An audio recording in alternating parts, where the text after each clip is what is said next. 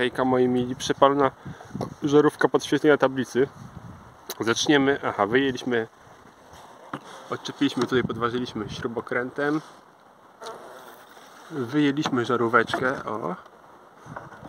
5W5 i teraz odłączymy akumulator, żeby przypadkiem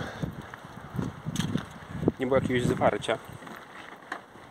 Bo ta podświetlenie się świeci jak jak jest otworzony ten.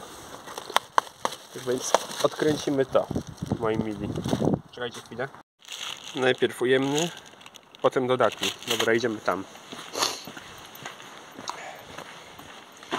Czekajcie. W5. Gdzie to jest? Tutaj. O, zaraz to tutaj wsadzimy. Wsadzone. Teraz zapalimy akumulator, zobaczymy co będzie działać. Działa, moi mili, udało się, ale wiecie co? Tu jest takie dziwne miejsce. Chyba od tego, że cały czas to świeci, to tutaj w plastiku wypala się taka dziura. Chyba ją zalepię silikonem, żeby tam wilgoć nie dochodziła. Wiecie, moi mili? O. Mam tutaj taki silikonik.